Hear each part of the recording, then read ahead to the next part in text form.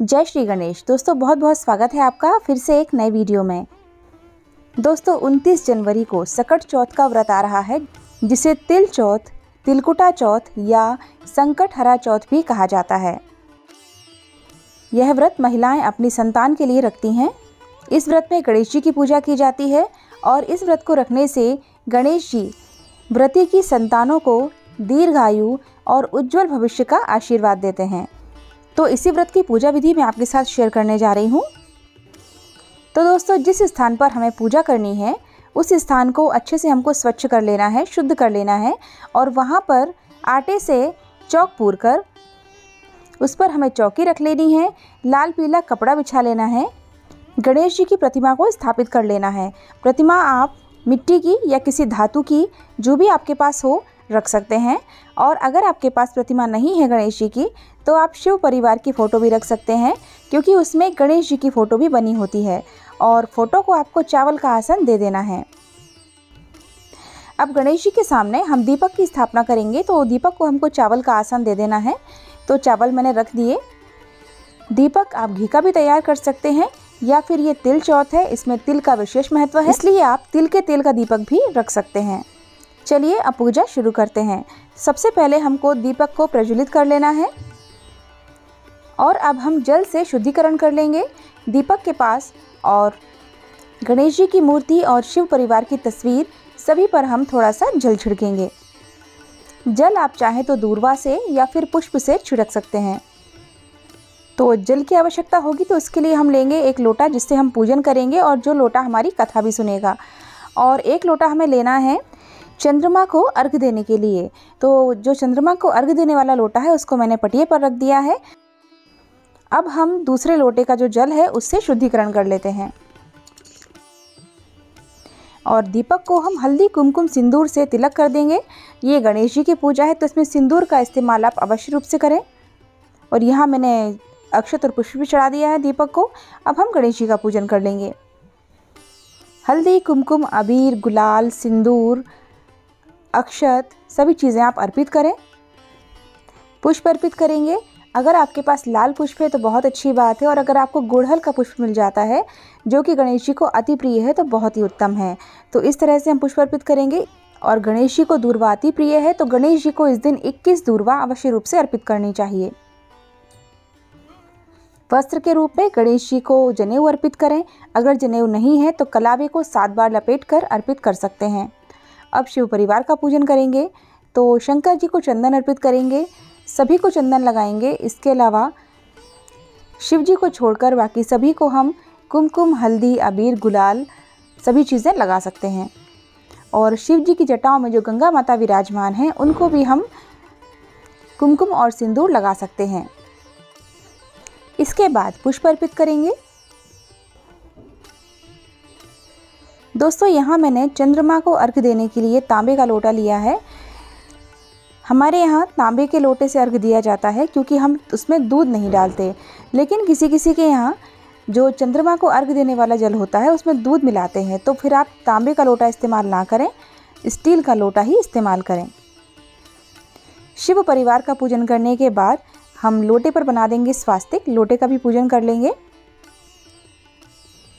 आप चाहें तो अक्षत की जगह पूरी पूजा में तिल का इस्तेमाल कर सकते हैं, लेकिन हमारे यहाँ अक्षत चढ़ाए जाते हैं, इसलिए मैंने पूजा में अक्षत आपको चढ़ाकर दिखाए हैं।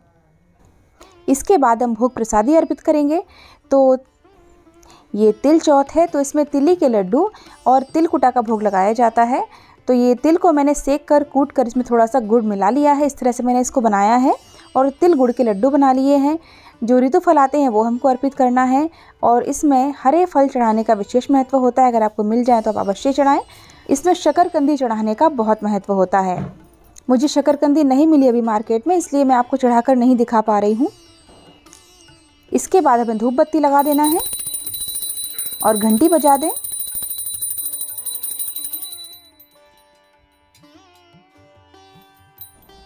अब दोस्तों हमें कथा सुननी है तो इसके लिए जो हमने तिलकुटा बनाया है, इसको हम हाथ में ले लेंगे। साथ में पुष्प ले लेंगे और कहानी पढ़ेंगे आप सकट चौथ की कहानी। एक शहर में देवरानी जेठानी रहती थी। देवरानी गरीब थी और जेठानी अमीर थी। देवरानी हमेशा गणेश जी का पूजन और व्रत करती थी। देवरानी का पति जंगल से लकड़ी काटकर बेचता था। देवरानी घर का खर्च चलाने के लिए जेठानी के घर काम करती थी और शाम को बचा हुआ खाना लेकर जाती थी। माघ महीने में गणेश जी का व्रत सकट चौथ देवरानी ने रखा। उसके पास पैसे नहीं थे, इसलिए उसने तिल व गुड़ लाकर तिलकुटा बनाया। पूजा करके तिल चौथ की कथा सुनी और जेठानी के यहाँ काम करने चली गई। सोचा शाम को चंद्र को अर्घ देकर जेठानी के यहाँ से लाया हुआ खाना और तिलकुटा खाएगी। शाम को जब जेठानी के घर खाना बनाया तो उसकी जेठानी का व्रत होने के कारण घर में और सभी ने भी खाना खाने से मना कर दिया अब देवरानी जेठानी से बोली, आप मुझे खाना दे दो, जिससे मैं घर जाऊँ। इस पर जेठानी ने कहा कि, आज तुम्हें कैसे दे दूँ?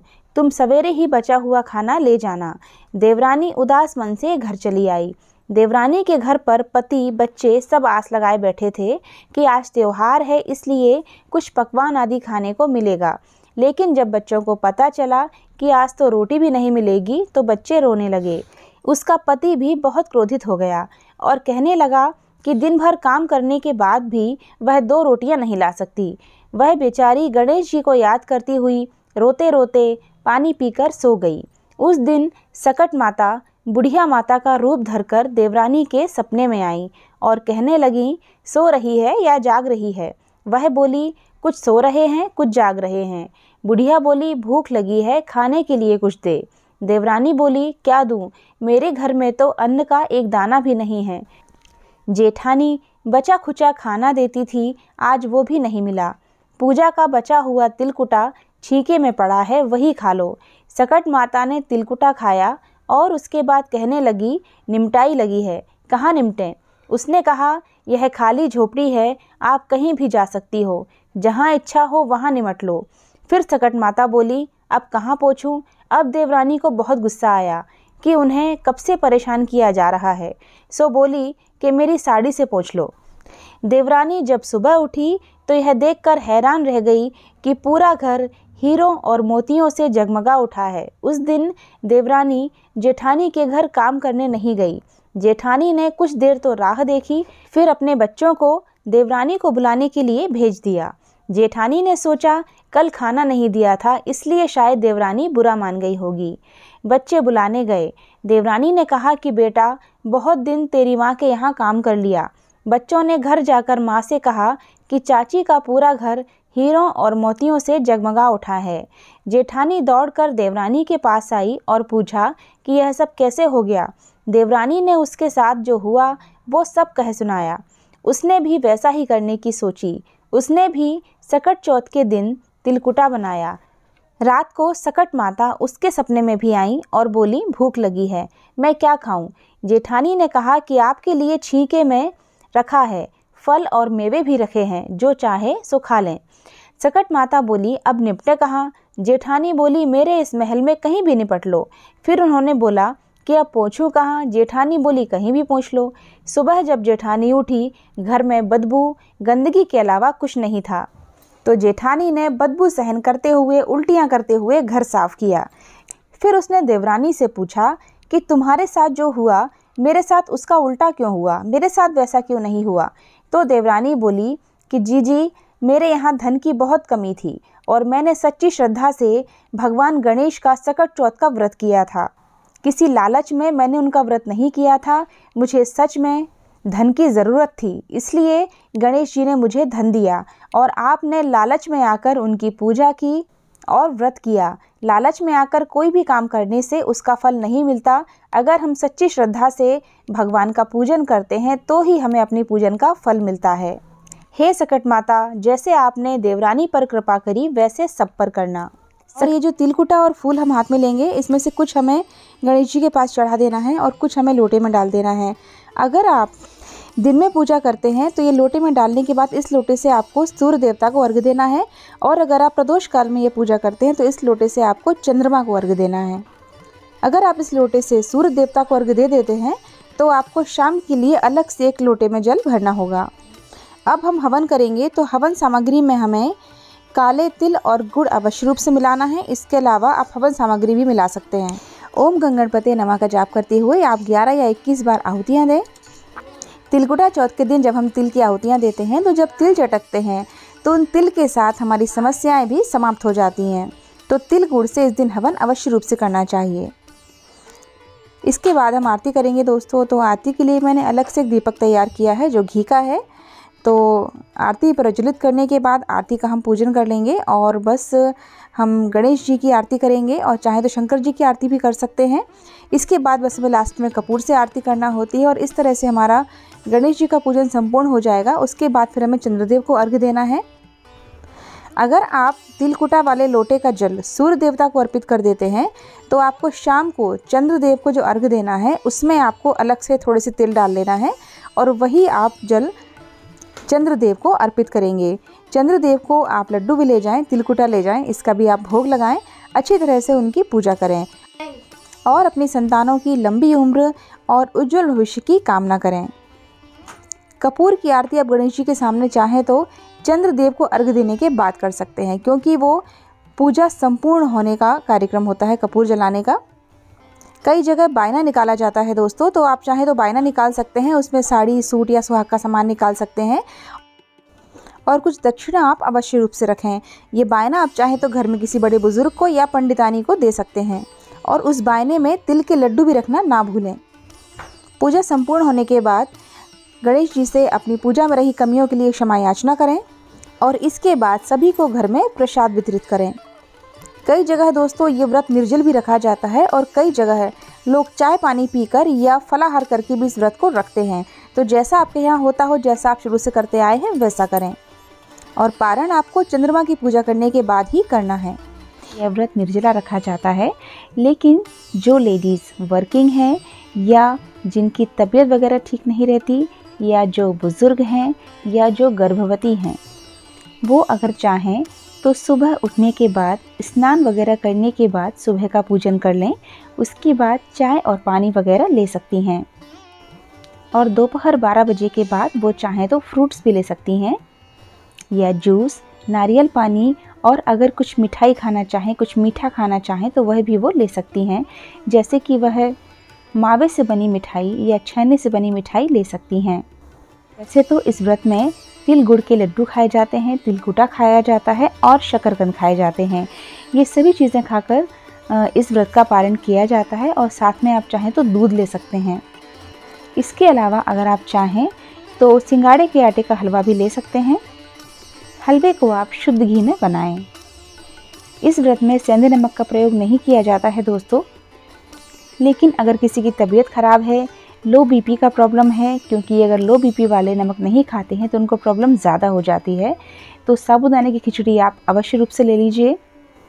मैं आपको यही एडवाइस दूँगी दोस्तों, क्योंकि ज़्यादा कठिन व्रत करके तबीयत ख़राब करने से कोई मतलब नहीं है। अगर आपकी तबीयत ख़राब हो जाएगी तो भी आपका व्रत खंडित हो सकता है, अगर आपको मजबूरी में कुछ खाना पड़ जाए।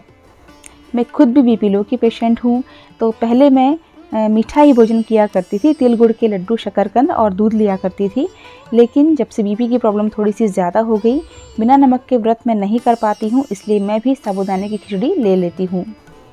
और एक और बात दोस्तों, जो लोग साल भर की 12 महीने की पूरी चौथ का व्रत रखते हैं तो वो लोग एक समय इस व्रत में भी भोजन कर लेते हैं, पूजन के बाद। क्योंकि जब 12 माह की चौथ हम रखते हैं पूरी 11 माह की चौथ में हम भोजन करते हैं। यहाँ तक कि करवा चौथ में भी एक समय भोजन कर लिया जाता है। तो लोग इस चौथ में भी भोजन कर लेते हैं, जो पूरे 12 माह की गणेश चतुर्थी का व्रत करते हैं। और अगर मान लीजिए कि हमने व्रत रखा है, कई लोग उद्यापन में बुलाते हैं, हमें उद्यापन में जाना पड़ जाए तो जिस तरह से आप व्रत रखते हैं, वैसा रख सकते हैं। आप चाहें तो खाना खा सकते हैं, भोजन कर सकते हैं। एक समय अगर आप भोजन करते आए हैं, और अगर आप भोजन नहीं करते हैं, मीठा ही भोजन करते हैं तो जो आपको उद्यापन में बुलाएँ, आप उनसे बात कर लें कि वह आपके लिए मीठे भोजन की व्यवस्था कर दें और जिस तरह का भोजन आप करते हैं, वही भोजन वो आपके लिए परोसें। उम्मीद करती हूँ दोस्तों कि आपको वीडियो ज़रूर अच्छा लगा होगा। अगर वीडियो पसंद आया है तो प्लीज़ चैनल को सब्सक्राइब किए बिना बिल्कुल मत जाइएगा। और अगर आपको ऐसी जानकारी चाहते हैं जो मैंने वीडियो में नहीं दी है तो मुझे आप कमेंट बॉक्स में पूछ सकते हैं। वीडियो को दूसरों के साथ भी शेयर ज़रूर कीजिएगा दोस्तों और वीडियो को लाइक करके कमेंट बॉक्स में जय श्री गणेश अवश्य लिखिएगा। फिर मिलते हैं नेक्स्ट वीडियो में। जय श्री गणेश।